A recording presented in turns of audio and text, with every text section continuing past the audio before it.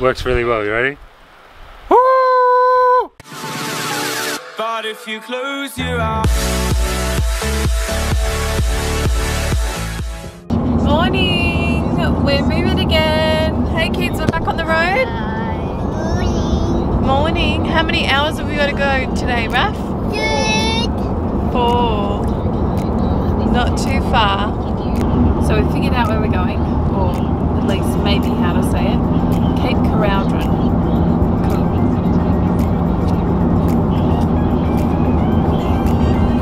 It's a nice place. It's a nice place.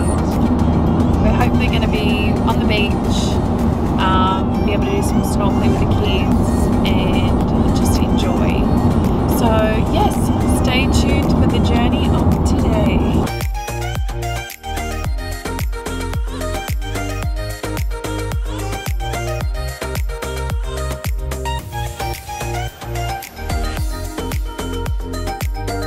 What do we think, Raf? Beautiful. Good? Good. Then, beach.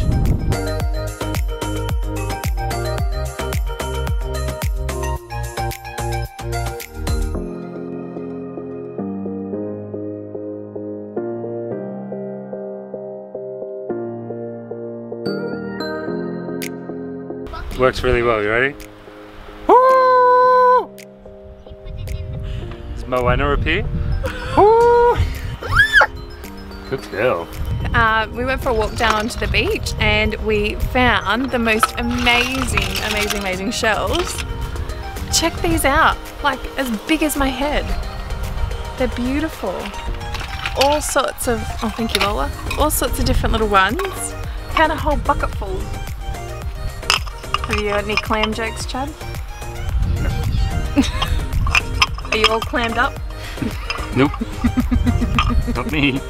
So I thought along with the shells, I thought I'd share an important bit of information. Um, cone shells. Some of you will see them on the beach, flat on the top, shaped like an ice cream cone. They are super dangerous. Now there's nothing in this one I checked, but they carry a little animal, a little snail called a cone snail. Very creative. Uh, most people pick them up, put them in their pockets, they've gone shell hunting on the beach, the snail comes out, bites them, they end up in ICU. So the rule of thumb with the kids when we're collecting shells is if it's a cone, leave it alone. And that gem of information was actually taught to us by Reef HQ in at Townsville. So moral, moral of the story, if it's a cone, leave it alone. Don't pick it up, don't touch it. I've only done that just to show the video. Um, but yeah, there's nothing inside this one, thank goodness. What do we got, kids? Right. Rice Rice? and satay. Mmm. Oh, is it good? Yum. Chew it up. Mama Chef,